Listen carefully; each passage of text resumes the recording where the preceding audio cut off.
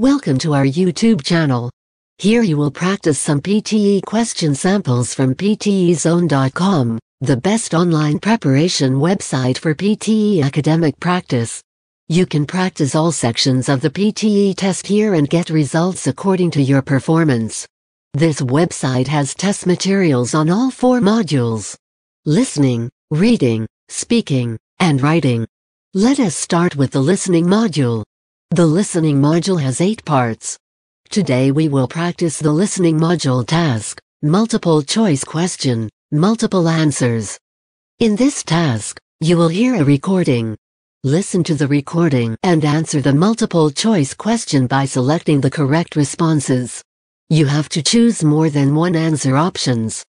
Money anxiety disorder is a term sometimes used to describe a condition of constant worry and unease about money.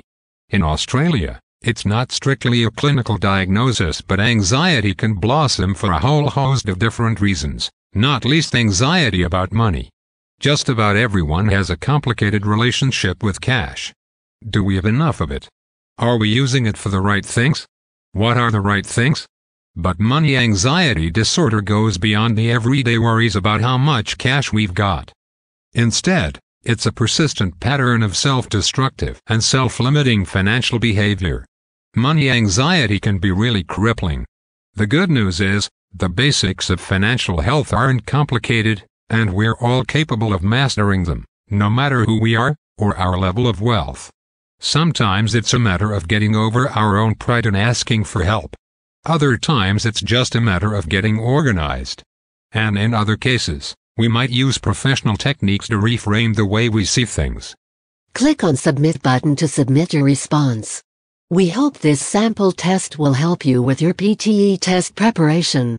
Please register on PTE Zone for the real-time based experience of the PTE test on our platform. Link to join our platform is mentioned in the description below. Don't forget to subscribe to our channel and press the bell icon for latest update notifications. Thanks for spending time with us.